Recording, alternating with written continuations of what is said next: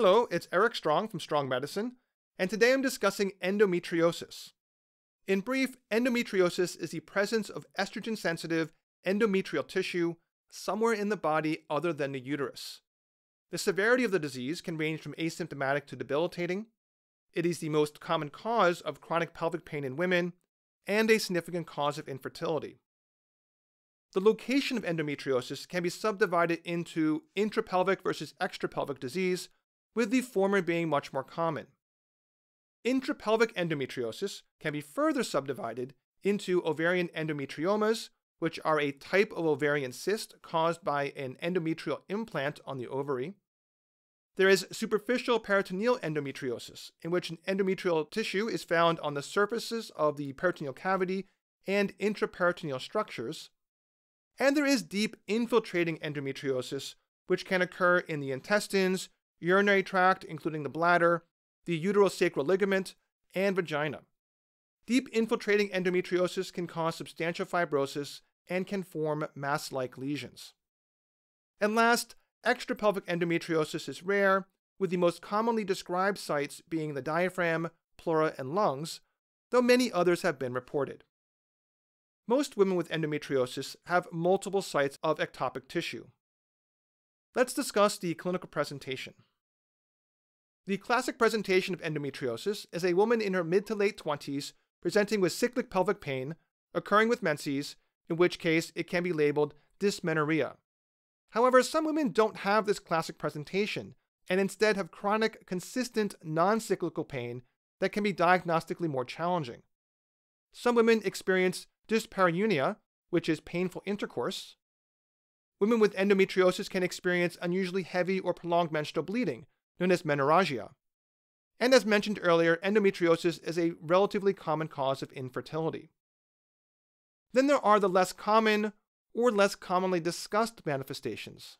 These include chronic low back pain, various forms of bladder and bowel dysfunction, most notably painful defecation, and more rarely chest pain and hemoptysis from endometrial tissue within the lungs. In addition to these direct features, endometriosis is also associated with fatigue, anxiety, and depression. Overall, it leads to significant disruptions to patients' social and professional lives, including challenges with interpersonal relationships and significant economic loss through decreased productivity. This very wide spectrum of manifestations, many of which are unknown to some clinicians, is why a common disease like endometriosis needs to be included in this series on underappreciated diseases. Although a significant minority of women with endometriosis experience infertility, among women who do become pregnant, there are some important clinical manifestations during pregnancy.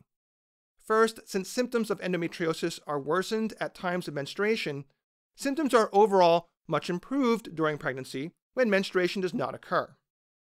However, endometriosis does increase the risk of a number of obstetric complications, including preterm birth, miscarriage, a condition called placenta previa, in which the placenta partially or totally covers the cervix, which is the outlet from the uterus, a general need for cesarean delivery, and ectopic pregnancy, which is when a non viable pregnancy occurs outside of the uterus, for example, in the fallopian tubes or peritoneal cavity. The pathogenesis of endometriosis is incompletely understood, but appears to be multifactorial. It's generally accepted that the most common mechanism for developing intrapelvic endometriosis is when endometrial tissue shed during menstruation travels retrograde from the uterine cavity backwards through the fallopian tubes and into the peritoneal cavity. Extrapelvic endometriosis is thought to partially occur due to hematogenous or lymphatic embolization of endometrial cells. Regardless of the mechanism, the consequence is an estrogen dependent chronic inflammation in the anatomic locations where the shed endometrial tissue ends up. The infertility observed in endometriosis is also multifactorial, including chronic inflammation of the peritoneum, hormonal imbalances, concurrent dysfunction of the intrauterine endometrium, anatomic abnormalities such as pelvic adhesions, and decreased frequency of sexual intercourse due to dyspareunia. Risk factors for endometriosis include anything that increases the number of menstrual cycles a woman experiences. This includes being nulligravid or nulliparous, meaning no history of pregnancy or having given birth respectively. It also includes early menarche and or late menopause, and a relatively short menstrual cycle. Other risk factors include a tendency towards heavy menstrual bleeding and a family history of endometriosis. When it comes to the diagnosis, in some women, it's not challenging.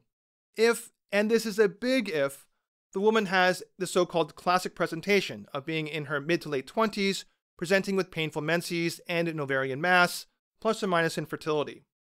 Unfortunately, most presentations don't conform to this classic archetype, leading to a delayed diagnosis of years for many patients, partly because these non classic presentations can mimic many other diseases.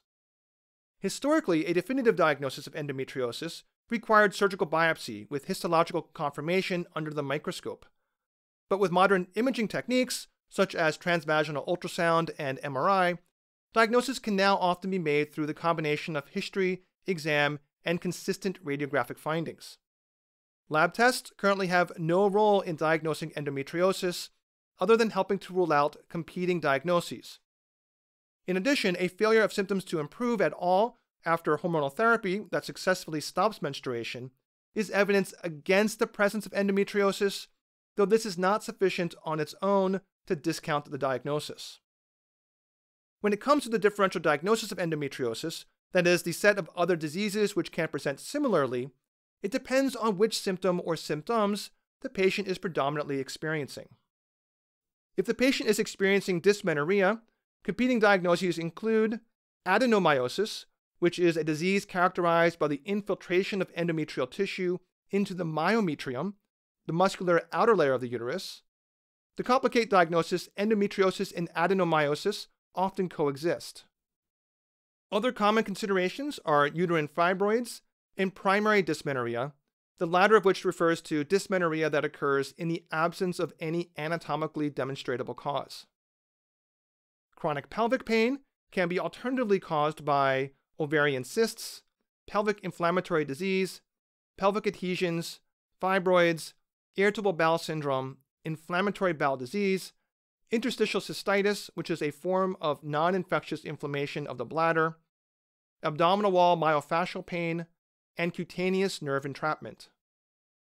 Dyspareunia can be from various anatomic abnormalities, vaginal dryness, PID and sexually transmitted infections, as the consequence of obstetric surgery and perineal injury, such as tears sustained during childbirth, and psychosocial issues, including sexual abuse.